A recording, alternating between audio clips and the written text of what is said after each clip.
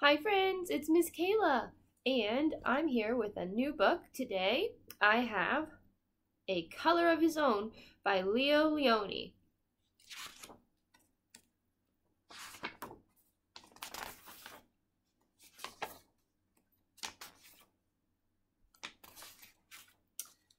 All right.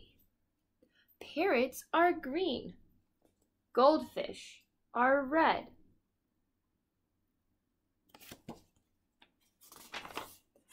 Elephants are gray. Pigs are pink. All animals have a color of their own.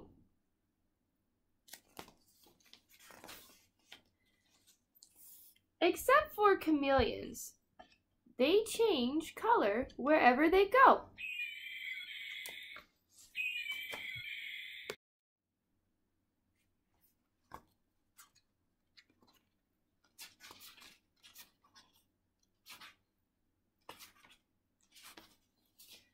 On lemons, they are yellow. In the lavender, they are purple.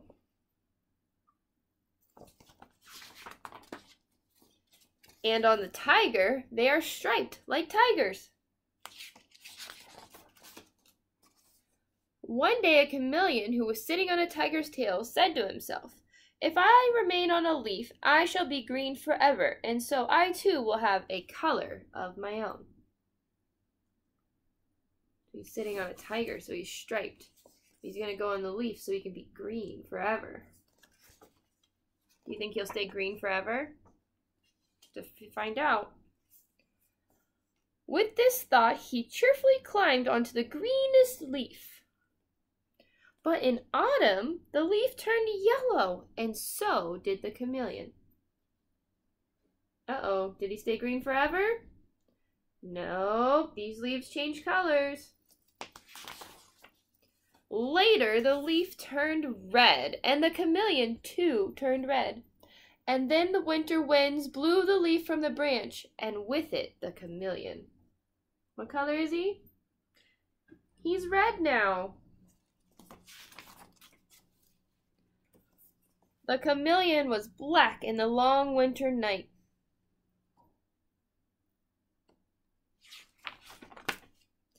But when the spring came, he walked out into the green grass, and there he met another chameleon. He told his sad story. Won't we ever have a color of our own? he asked.